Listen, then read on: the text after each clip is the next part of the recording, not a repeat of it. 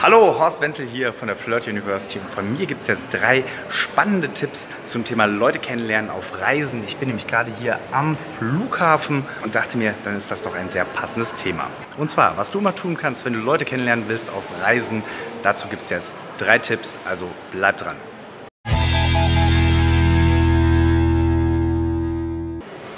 Als allererstes nutze Schlangen. Du hast ganz oft irgendwie eine Schlange beim Check-in, äh, bei, bei der Sicherheitskontrolle, wenn alle ins Flugzeug steigen, hier so ein Wartebereich wie hier. Da haben eh alle Zeit und diese Zeit kannst du natürlich wunderbar Menschen auch versüßen, indem du einfach kleine, lockere Gespräche anfängst. Also Tipp Nummer eins, nutze Schlangen. Tipp Nummer zwei, ein guter Einstieg ist natürlich auch, ähm, einfach zum Beispiel zu fragen, äh, Entschuldigung, sprichst du Deutsch oder äh, excuse me, do you speak English? Also du fragst einfach sozusagen nach der Sprache und hast schon meist damit sogar vielleicht einen kleinen Icebreaker und bist schon mal irgendwie im Gespräch. Und mein dritter Tipp für dich ist auf jeden Fall einfach die Situation aussprechen. Es passiert natürlich viel, irgendwas hat Verspätung oder irgendwie eine Schlange ist besonders lang oder es kippt was um oder so. Sprich einfach das aus, was um dich herum passiert. Das sind meist die allerbesten Gesprächseinstiege, indem du einfach die Situation kommentierst und einfach genau das aussprichst, was halt alle sehen. Ähm, unsere Flirt University Dozentin Gianna Baccio bezeichnet das ganze Thema auch als Ising. Ja, und zwar erinnere ich mich da zum Beispiel an eine ganz tolle Begegnung, die ich mal am Frankfurter Flughafen hatte. Ich habe die Frau quasi spontan kennengelernt am Flughafen und äh, wir hatten dann Sex im Flugzeug. Da hatte ich einfach gute Laune. Auf einmal sprach mich da ein älterer Herr an, weil ich einfach so vor mich rum äh, gegrinst habe und so offensichtlich gute Laune hatte. Der sagte so, ich weiß ja nicht, wo Sie hinfliegen, aber wir bringen gerade unsere Tochter zum Flug. Die äh, fliegt jetzt nach Indien für ein Jahr.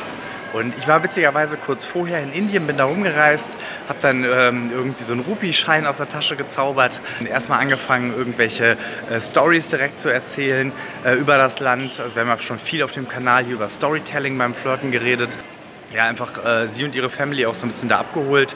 Also die Mutter war zum Beispiel total besorgt, ne, wenn die da jetzt hinfliegt. Äh, da habe ich ähm, dafür gesorgt, dass sie sich ein bisschen sicherer fühlt. Nach so einer Stunde etwa war das schon so ein bisschen wie so eine kleine Family. Da haben die Eltern dann ihre Tochter zum Sicherheitscheck gebracht mit mir. Wir waren im gleichen Flug. Und ähm, ja, die Mutter hat sich da irgendwie ganz toll verabschiedet und hat noch Küsschen bekommen und ähm, das war so, war so total herzlich. Im Flugzeug habe ich dann mit einem Amerikaner äh, Plätze getauscht, sodass ich neben ihr sitzen konnte. Habe ihr dann die ganze Zeit irgendwelche Bildchen aus Indien gezeigt und dazu auch kleine Geschichten erzählt. Irgendwann haben wir dann angefangen, so ein bisschen zu kuscheln. Da meinte ich so, ach, bist du müde, komm, hier lehn dich an und so, ne? Wie man das so macht. Und ähm, ja, nach ein paar Stunden waren wir dann am Knutschen. Dann sagte sie irgendwann, ja, ich muss jetzt mal aufs Klo. Und ich dachte mir, juhu, Heil My Club, das ist deine Chance. Also wir standen dann da so vor der Flugzeugtoilette und ich dachte mir, ja komm, jetzt gehst du als erstes. Ähm, damit du die notfalls irgendwie reinholen kannst da.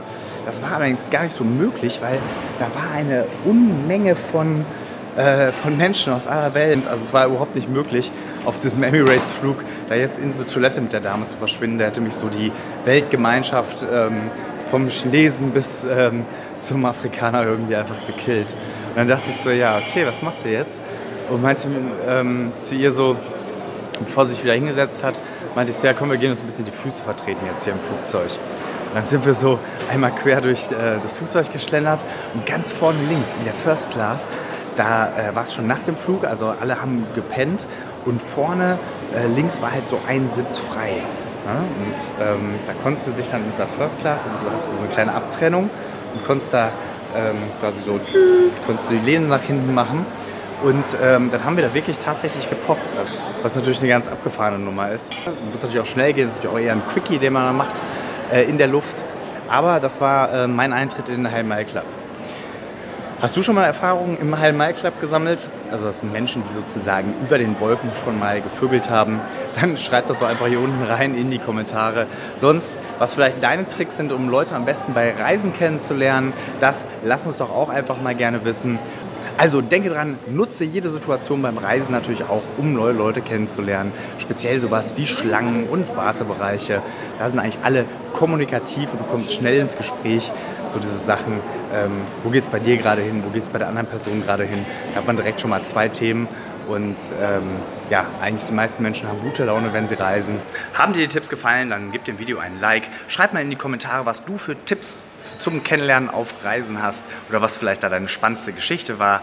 Und äh, abonniere doch gerne auch unseren Kanal, falls du es noch nicht getan hast. Dann klick auch gerne mal auf die kleine Glocke, denn dann erhältst du immer Benachrichtigungen, wenn ein neues Video von mir erscheint. Hier geht es jetzt weiter mit dem Thema Sex auf Reisen. Wie kriege ich den am besten? Und hier geht es weiter mit dem Thema Grounding, was dir sicherlich für Gesprächseinstiege helfen wird. Alles klar, auf bald, dein Horst Wenzel von flirtuniversity.de und bei mir geht's jetzt ab in den Urlaub.